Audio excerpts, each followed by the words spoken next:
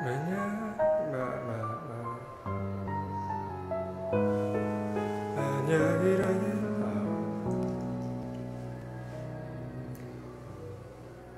만약이라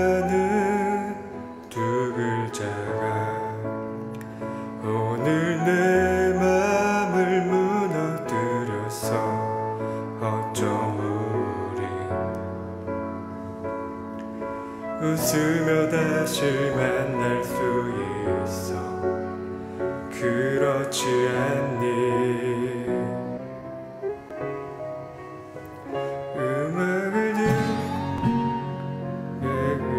듣고 영화를 보고 사람들을 만나고 웃었지만